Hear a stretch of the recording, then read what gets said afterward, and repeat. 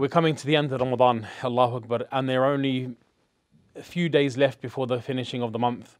And many of us are going to go back to perhaps the same hustle and bustle and the rat race that we we left just before the month of Ramadan. Some of us perhaps haven't even left the rat race.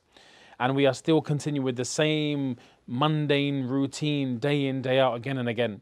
But what I want to do is just briefly bring something to your attention. Bring, and I ask Allah to give me tawfiq as well. The Prophet ﷺ, he mentioned this wonderful thing. He mentioned, لو يعلم المؤمن ما عند الله من العقوبة ما طمع بجنته أحد. If any of the believers were to come to know what Allah would punish, the punishment of Allah subhanahu wa ta'ala, what Allah has, no mu'min, no believer would ever desire Jannah. ولو يعلم الكافر ما عند الله من الرحمة ما قنط بجنته أحد. And if any one of the disbelievers were to know of the rahmah of Allah subhanahu wa ta'ala, no disbeliever would ever feel despondent and ever lose hope in Allah subhanahu wa ta'ala's Jannah. And we are so fortunate that we, we have that Allah wa ta'ala. He's given us the tawfiq to bring iman, to spend our time in this month of Ramadan. Some of us fortunate to fast, some of us fortunate to take part in Taraweeh. Some people even gave the, their zakat in this particular month.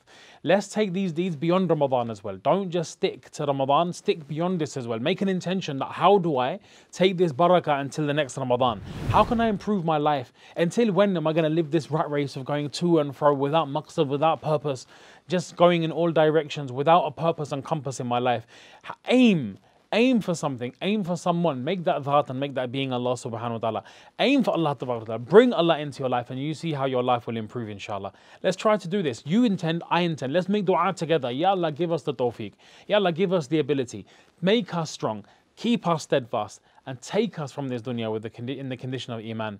Jazakumullah khairan. Assalamu alaikum wa rahmatullahi wa barakatuh. Amen.